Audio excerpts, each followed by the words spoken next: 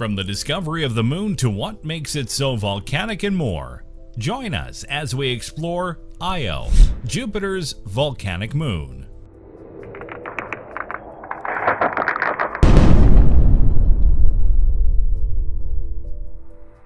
Number 8. The discovery of Io. In many ways, Io is one of the more popular moons of Jupiter. It's been referenced many a time, as we'll note later. But how did we learn about this very special moon? The first reported observation of Io was made by Galileo Galilei on January 7, 1610, using a 20 times power refracting telescope at the University of Padua. However, in that observation, Galileo could not separate Io and Europa due to the low power of his telescope, so the two were recorded as a single point of light. Io and Europa were seen for the first time as separate bodies during Galileo's observations of the Jovian system the following day, January 8, 1610. This is used as the discovery date for Io by the IAU. The discovery of Io and the other Galilean satellites of Jupiter was published in Galileo's Sidereus Nuncius in March 1610. In his Mundus Jovialis published in 1614, Simon Marius claimed to have discovered Io and the other moons of Jupiter in 1609, one week before Galileo's discovery. Galileo doubted this claim and dismissed the work of Marius as plagiarism. Regardless, Marius's first recorded observation came from December 29, 1609 in the Julian calendar, which equates to January 8, 1610 in the Gregorian calendar, which Galileo used. Given that Galileo published his work before Marius, Galileo is credited with the discovery. But the end of the discovery did not end there because for basically 250 years, various astronomers tried to learn more about Io, but because of its place in space, all they could usually see was a ball of light. It would take a while for them to start to parse out the details of the moon.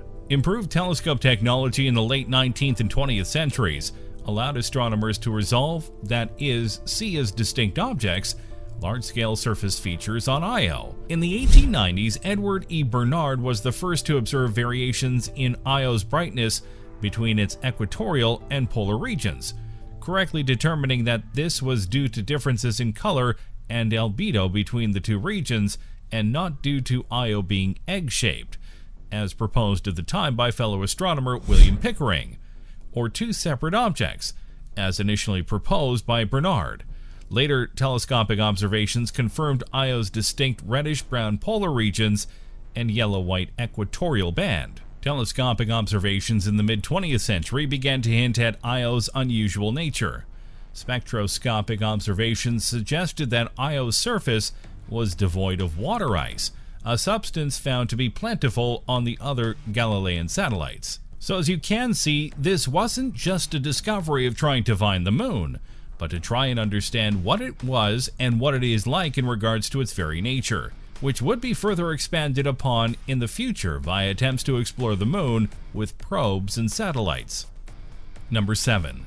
The Exploration of Io Part 1 In the late 1960s, a concept known as the Planetary Grand Tour was developed in the United States by NASA and the Jet Propulsion Laboratory, JPL.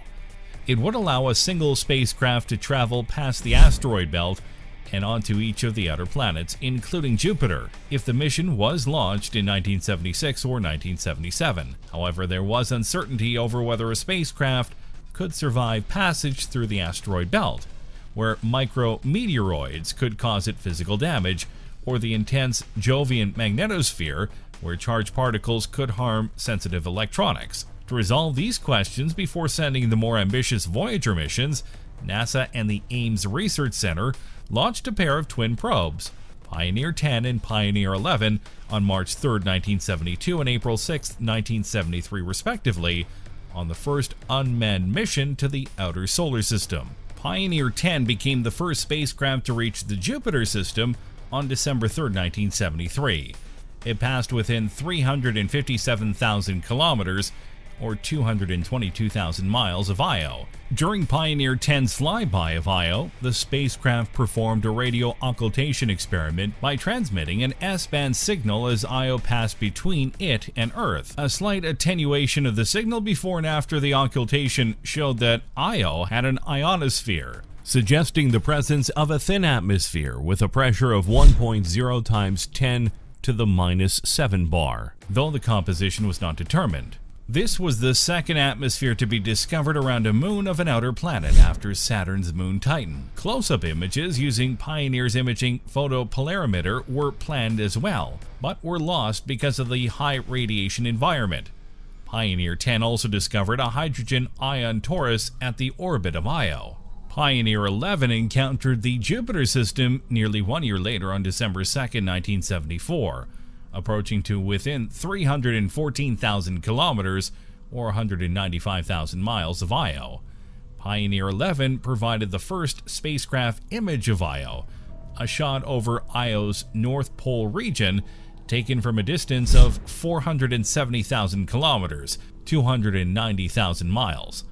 This low-resolution image revealed dark patches on Io's surface akin to those hinted in maps by Audouin Observations by both pioneers revealed that Jupiter and Io were connected by an electrical conduit known as the Io flux tube, which consists of magnetic field lines trending from the Jupiter's poles to the satellite. Pioneer 11's closer encounter with Jupiter allowed the spacecraft to discover Jupiter's intense radiation belts similar to Earth's Van Allen belts.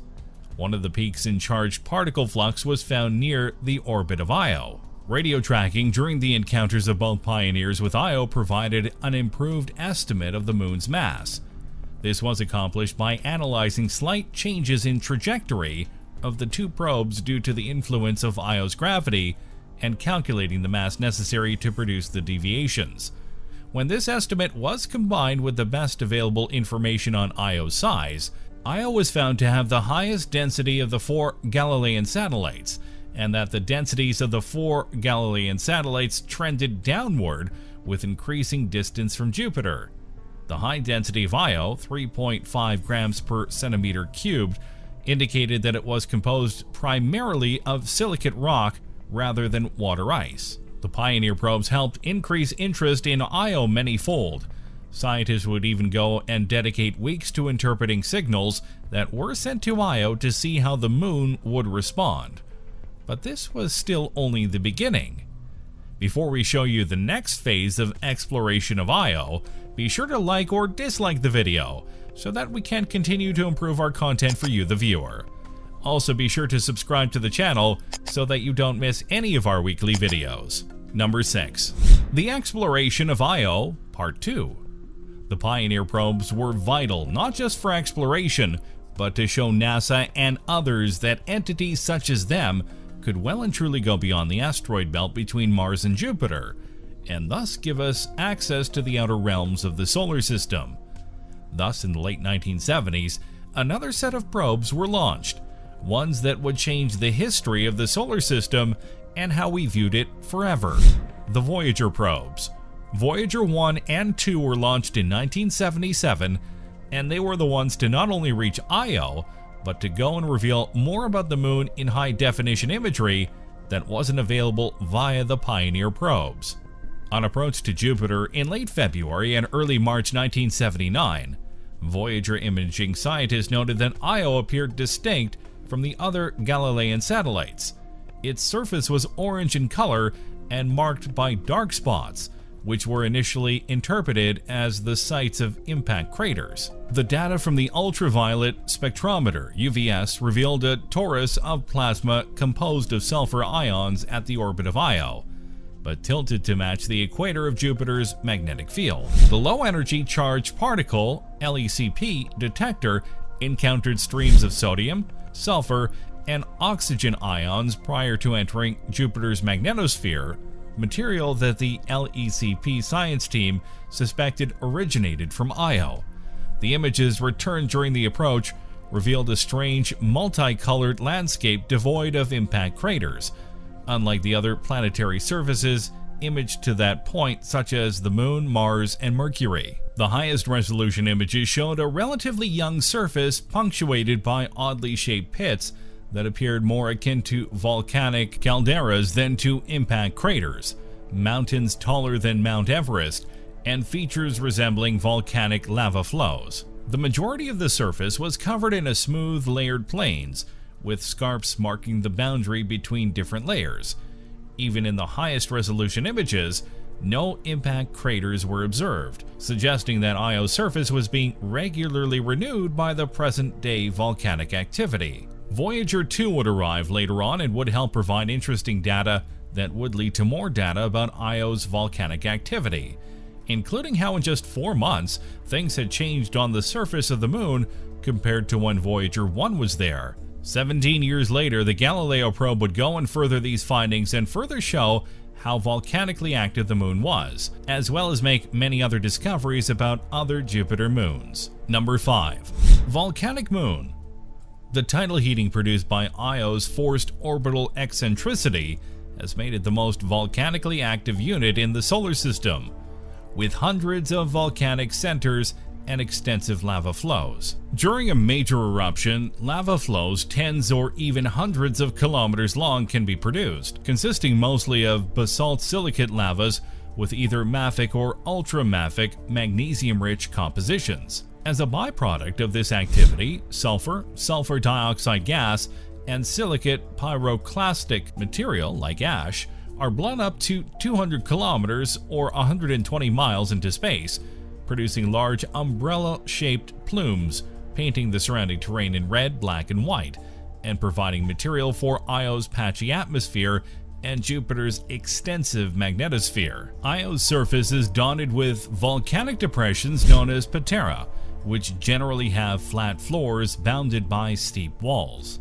These features resemble terrestrial calderas, but it is unknown if they are produced through collapse over an emptied lava chamber like their terrestrial cousins. One hypothesis suggests that these features are produced through the exhumation of volcanic sills, and the overlying material is either blasted out or integrated into the sill. But it's not clear if that theory is true. The discovery of plumes at the volcanoes Pele and Loki were the first sign that Io is geologically active. These plumes form red from the short-chain sulfur and black from the silicate pyroclastics deposits on the surface. Number 4. Orbit and rotation. Although Io always points the same side towards Jupiter in its orbit around the giant planet, the large moons Europa and Ganymede perturb Io's orbit into an irregularly elliptical one. Thus, in its widely varying distance from Jupiter, Io is subjected to tremendous tidal forces. These forces cause Io's surface to bulge up and down, or in and out, by as much as 300 feet or 100 meters. Compare these tides on Io's solid surface to the tides on Earth's oceans. On Earth, in the place where tides are highest, the difference between low and high tides is only 60 feet or 18 meters, and this is for water not solid ground. Io's orbit, keeping it at more or less a cozy 262,000 miles or 422,000 kilometers from Jupiter, cuts across the planet's powerful magnetic lines of force, thus turning Io into an electric generator. Io can develop 400,000 volts across itself and create an electric current of 3 million amperes. This current takes the path of least resistance along Jupiter's magnetic field lines to the planet's surface, creating lightning in Jupiter's upper atmosphere. Number 3. Pop Culture We're still getting to know Io as a whole, though its powerful volcanoes have captured imaginations since their discovery decades ago. Io plays a memorable role in the sequel to 2001 A Space Odyssey 2010, in which astronauts make a dangerous spacewalk above Io's volcanoes to board an abandoned spacecraft. In the show Babylon 5, frequent references to Io are made as the Earth has a base there, and they use it to help scan for potential threats to Earth. Number 2. Atmosphere because of the volcanic activity, Io's atmosphere contains mostly sulfur dioxide. Io's orbit cuts across Jupiter's powerful magnetic lines of force, turning Io into an electric generator. As Jupiter rotates, the magnetic forces strip away about a ton of Io's material every second. The material becomes ionized and forms a donut-shaped cloud of radiation called a plasma torus. Some of the ions are pulled into Jupiter's upper atmosphere and create auroras. An example